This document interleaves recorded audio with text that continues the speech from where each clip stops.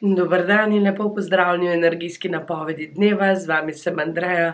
Ponedeljek, tretji januar je in dan za nove začetke, saj je bil včeraj mlaj in danes luna, ki še v delovnem kozorogu podpira vašo novo rast, razvoj in srečo v novem letu dva tisoč dvaindvajset.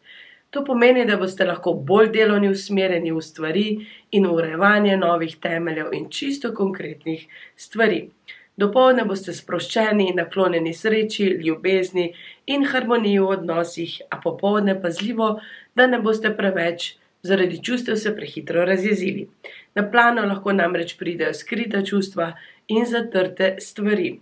Luna pozno ponoči ob petnajst do polnoči preide v vodnarja, kar vas bo spodbudilo v svobodi in osvobodilo vsega, kar vas je bremenilo. Najmočnejši vpliv boste čutili biki, tehtnice, škorpijoni, kozorogi, vodnarji in ribe. Pa srečno!